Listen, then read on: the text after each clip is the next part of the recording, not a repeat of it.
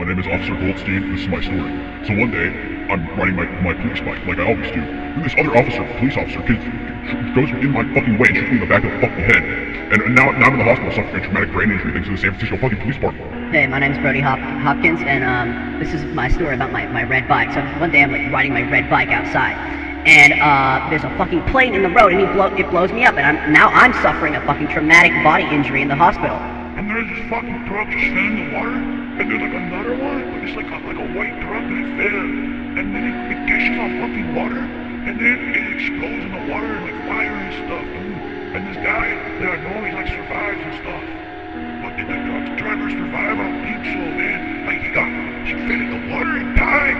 I think he died. Like, like I mean, I went to his funeral, but I don't know his name.